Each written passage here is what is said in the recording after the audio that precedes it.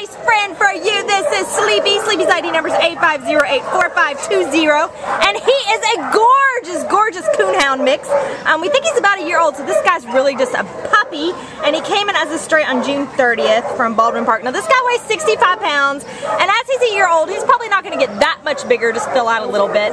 Um, but, you know, he's already a good medium size. So uh, if you are looking for a medium sized dog that has lots of fun, he'd be a great family dog. Um, he's got a lot of sweet, fun energy, um, but he definitely, as a puppy, is going to need all his training and skills taught to him. He's definitely going to need to go to obedience class, um, get his puppy basics, learn his puppy manners, and we just think after that, you know, he is just going to be an amazing dog to, you know, take on hikes and run around with the kids, um, and just such a sweetheart. So if you are looking for somebody like Sleepy, come on down to the Baldwin Park shelter, and you can take this awesome guy home with you to be part of your forever family. Bye bye, Sleepy. You are so amazing.